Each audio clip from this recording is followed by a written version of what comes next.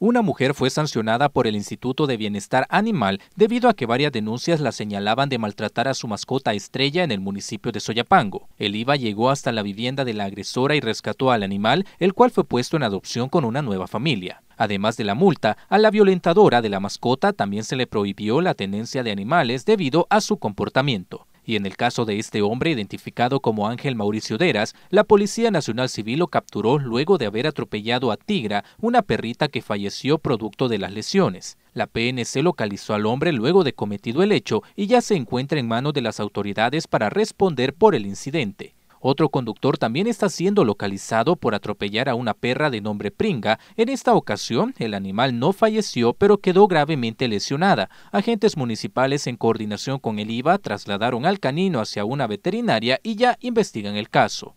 En otro proceso fue sancionada una mujer quien dejaba a su perrita laica durmiendo en la intemperie bajo la lluvia. El IVA rescató al ejemplar, el cual fue llevado a un centro veterinario para ser evaluado. Misma situación vivía Osa en Soyapango, ya que su dueña la dejaba durmiendo fuera de su vivienda y tenía que soportar el frío y la lluvia. Al igual que Laika, Osa fue rescatada y se le buscará una nueva familia para darla en adopción. En este caso, la propietaria del can también fue sancionada y se le prohibió la tenencia de mascotas.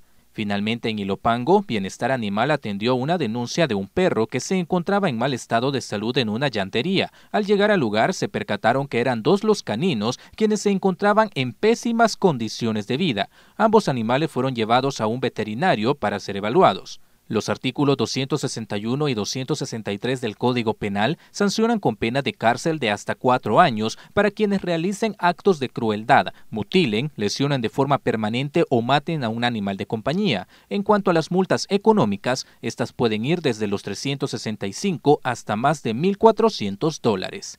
Fernando Morales, Noticiero Hechos.